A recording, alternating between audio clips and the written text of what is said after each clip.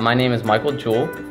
Uh, I'm a physics major, I'm a senior, and my co-op was here at Drexel University working in the physics department. I nominated Michelle Dolinski because she pushed me to get involved in every aspect of the project and become an integral part of the main research being done. I'm Michelle Dolinski. I'm an assistant professor in the Department of Physics. This is actually only my second year at Drexel, so last year was my first year participating in the co-op program and participating again this year. I love the co-op program and employing Drexel students because they really bring a, a level of enthusiasm into the laboratory. You know, Mike brought a, a lot of expertise with him um, from his studies in his previous co-op and uh, it just made great progress, showed incredible initiative right from the beginning and fit right into the project.